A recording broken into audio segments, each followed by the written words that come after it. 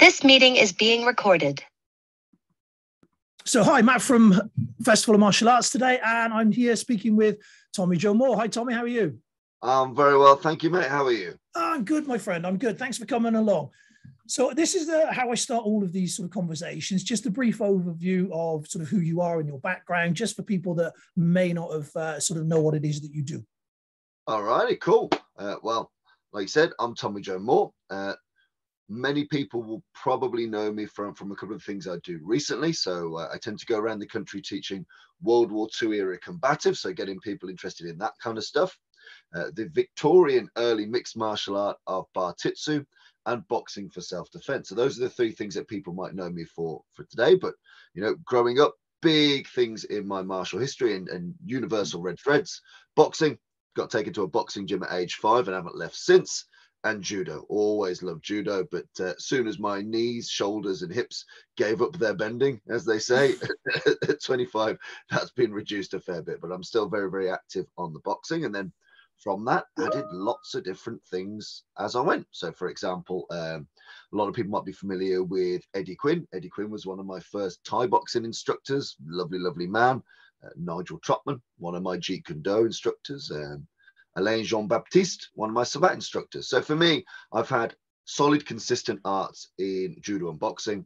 then everything else I've kind of picked up, explored, play with for, you know, four, five, six, seven years. And, and that's how I like to do it. I like to do concerted cross training, mapping out plans, things I'm either interested in, things I feel like I'm in skills deficit for, or things that are just fun. You know, it, there's no crime against just doing it because it's fun. So for me, that's been a, a, big part of my life. And I, I like to span, and I, I, think you do this as well.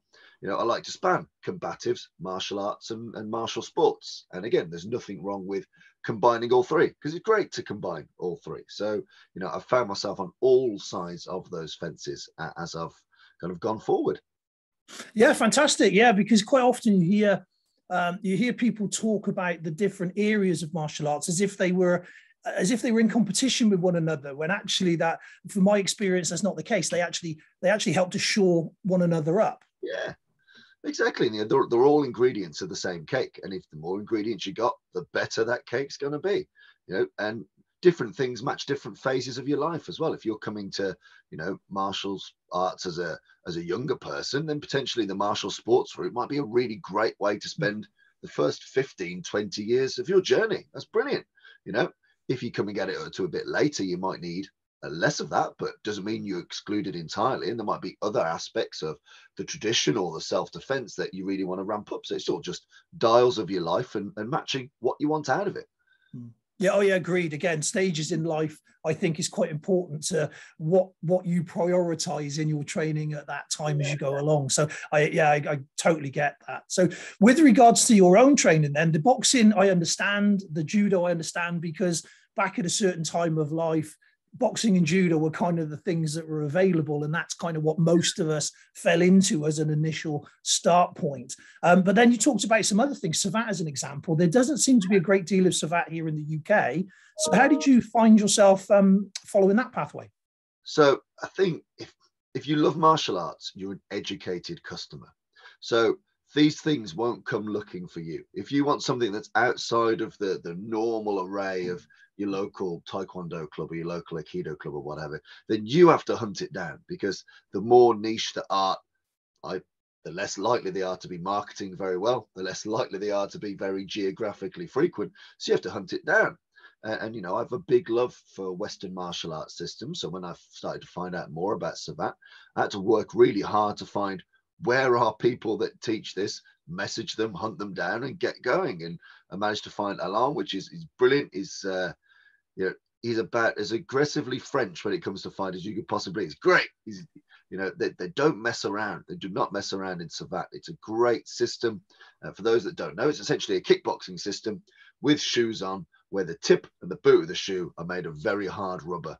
And when that goes in you it's very it's about accurate placement of shots and there are full contact versions and there are kind of semi-continuous versions and they flow together very very nicely but essentially it's, it's boxing and kickboxing with certain mechanics that are very unique to savate um, but yeah loved it absolutely love that system. Alain is a fantastic instructor in the Midlands.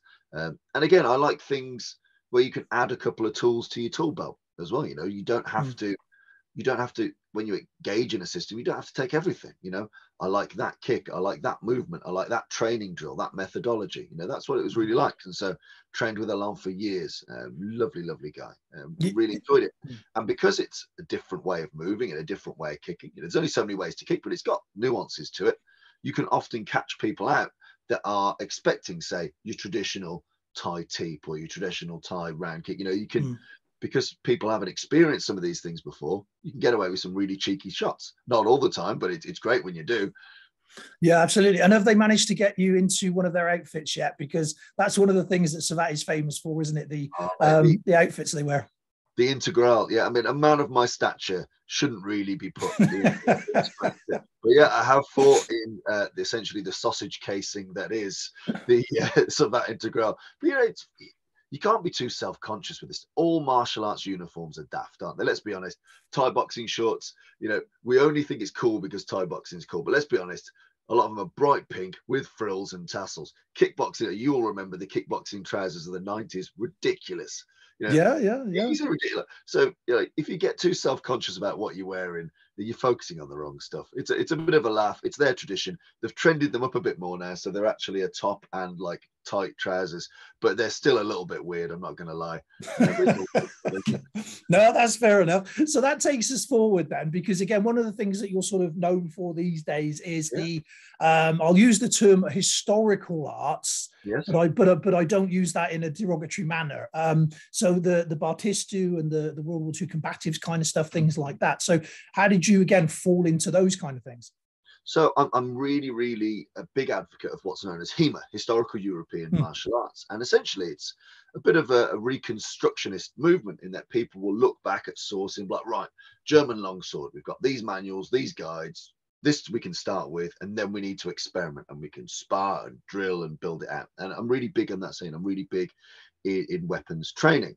Um, and the unarmed aspects of HEMA, so things that you know have no necessarily living lineage to them you know the things that that were made and then largely ignored the unarmed as elements of those were being resurrected by people that had never fought had never really done any hard training you know hadn't hmm. really done the things necessary to be able to bring them back properly uh, and look at it like well i have those skills i have that experience i can do this in a way in which i believe it was intended so for mm. me it's pulling together the sources, the practitioners, as much material and content as you can, and bringing it back as living history. And that's something I take all over the country. And it's still an experiment because hmm. no one knows. No, no one give you the answer. This is this is right. This is wrong. But it bloody works. I mean, I took those World War II combative materials. I took them out into Ukraine last year, training soldiers with them. Still valid. Hmm. Still works. Still strong.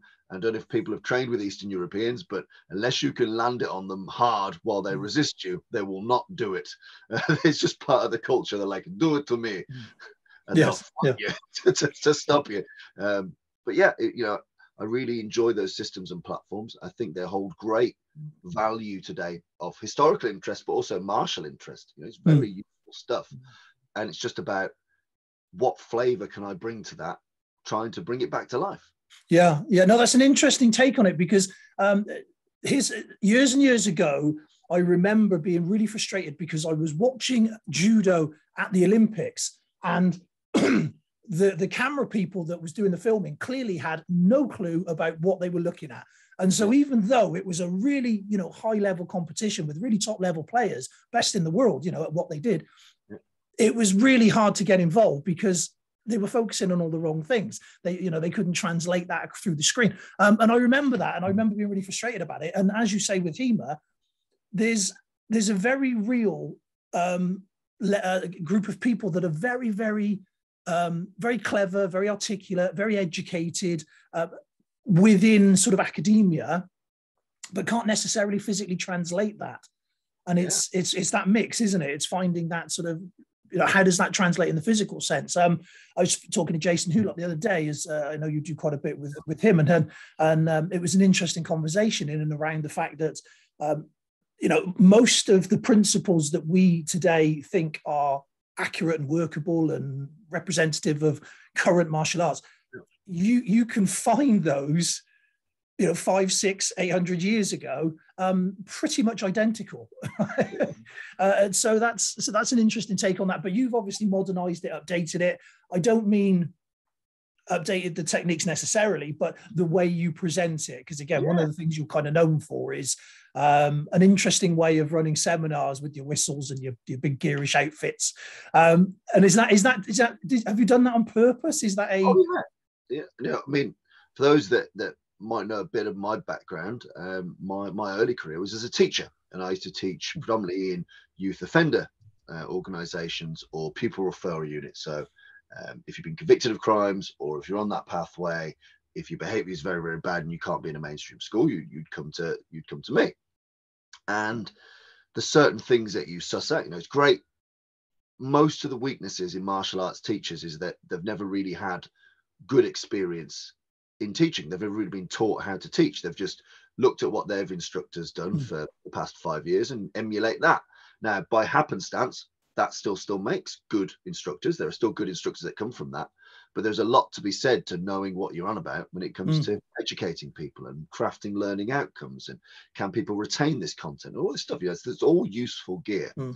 Um, but yeah, my teaching style is very deliberate. I want people to enjoy it. I want people, if you don't enjoy it, you won't retain it. You know, so I go there. I'm predominantly a seminar instructor because I'm still competing, I'm still fighting, I still travel a lot for work. I selfishly do not run a regular club, and that's by design. I've chosen not to do that because that's hmm. unfair on people. If I'm running and like right every second Wednesday, I have to go, you know, X amount of sparring, or I need to go. It's not right. So my main job that I position myself is, I will come to the club, I will give you a bloody good session, I'll give you some drills, techniques, and things for you to take away and experiment and play with. And, and that's my part of the deal energy in, energy out. And I think I'm relatively well known for high energy seminars in that when I go and teach at a place, you get 110% of me for you know for the for the X amount of hours you got, mm. you're gonna get your money's worth and you're gonna get your efforts worth. I hate limp, languid instructors. You know, you energy and energy out always, and that's a big thing for me. So, blasting the whistles, blasting the music, crazy drills, props, all this stuff. It's all about making sure people have fun, retain the content.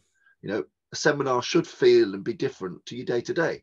So mm. there's no point just rocking up to what is in essence a long class. That's not the point. That's dead boring. You know, mm. it needs to be themed and planned. And I put a lot of effort into planning my seminars. You know, I will rock up with a very robust, often, often too long lesson plan of things I want to cover, outcomes I want to achieve, and places that people can go if they enjoyed it to find out more about the things I've taught. So structure, planning, and energy are big for me. And you know, one of my early instructors being Eddie Quinn, he got energy. When when mm. Eddie steps on the mat, you listen, you enjoy. You know, he always says, if you leave my session being a bit safer and feeling a bit happier, I've done my job. And that's the kind of a mantra I've, I've stolen willingly. And I think that that works. If I've made you a little bit safer, if you're two percent safer than when you came in, and you're five percent happier, fucking job's done. Job's done.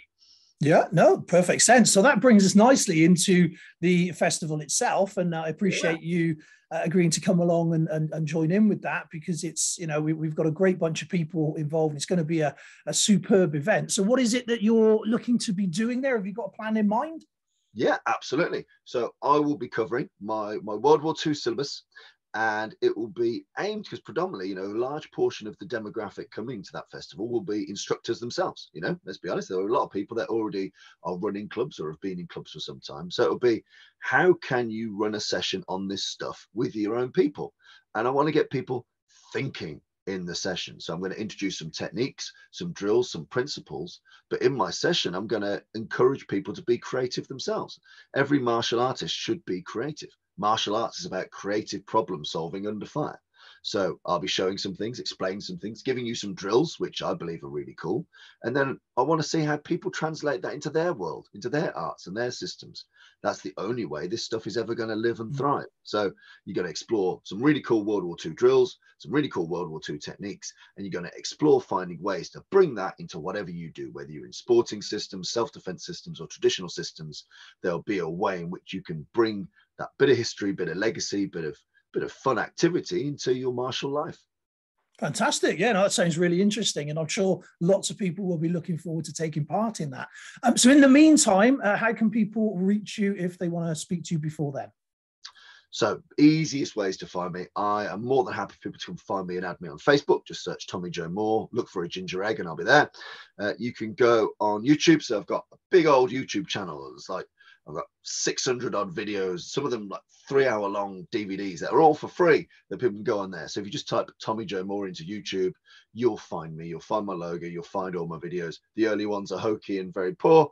The newer ones are also terribly sharp, but there's a lot of stuff to play with, a lot of material to explore, and there's lots of stuff that I've done with other instructors. For example, if people want to look at how to integrate sumo trips, throws, and strikes into their material, I've got videos of a big seminar I've done with Joe Saunders covering just that on the YouTube channel. So it's rich and full of things for people to explore.